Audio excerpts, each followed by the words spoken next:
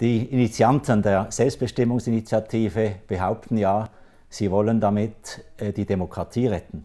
Das ist falsch und auch irreführend. Unsere Demokratie ist eine rechtsstaatliche Demokratie. Das heißt, sie ist eingebettet ähm, in Freiheitsrechte. Die Meinungsfreiheit ist Voraussetzung der Demokratie und die Freiheitsrechte können auch gewisse demokratische Entscheide beschränken zum Schutz der Freiheit des einzelnen Bürgers und der Bürgerin. Und da ist die Menschenrechtskonvention wichtig für die Schweiz, weil das Bundesgericht sie anwenden kann in gewissen Fällen. Und wenn die Initiative angenommen würde, könnte das Bundesgericht dies nicht mehr tun. Wer also die Freiheiten ungeschmälert äh, schützen will, muss diese Initiative ablehnen.